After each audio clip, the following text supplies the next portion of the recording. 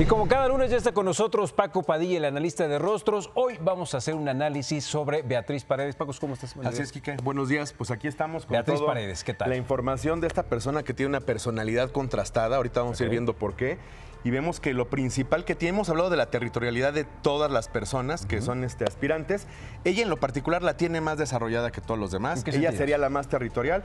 Sus nasolabiales, que son las líneas de expresión que van de la nariz al labio, eh, las tenemos claramente definidas en su rostro y vemos que es una persona completamente territorial. Ella sí va a perseguir su hueso, no lo va a soltar y va a estar bueno el agarrón, ¿no?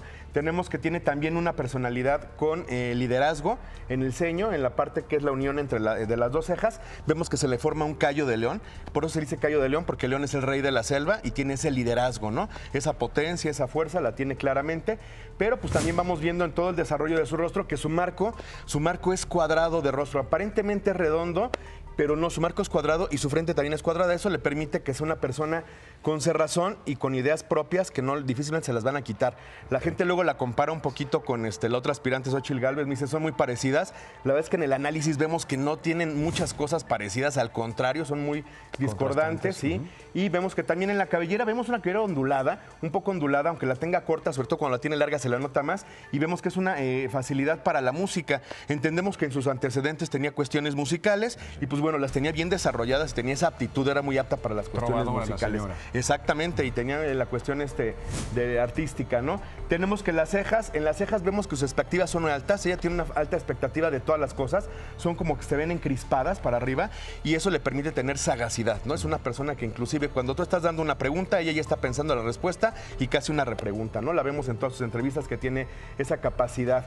Vemos que también tiene eh, en la parte... Eh, de sus, de sus ojeras, perdón, vemos que tiene una coloración rara todo el tiempo. Eso es una denota eh, que está consumiendo medicamentos. Yo creo que trae un padecimiento, creo que trae un padecimiento permanente en una de las piernas, en una de las rodillas a raíz de un accidente, pero sí se le nota que está con un consumo alto de medicamentos y por eso la coloración especial que tiene tan oscura en sus eh, este, ojeras, ¿no?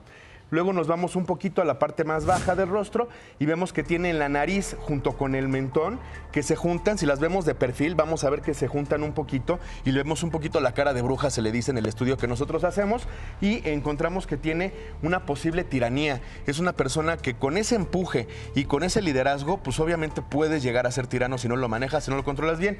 Pero ahorita vamos a ver un contraste, un contraste importante. Sus labios, sus labios vemos que el superior el inferior, que es muy poco común, son muy similares. Entonces encontramos que tenemos una persona que puede ser justa y pareja, ¿no?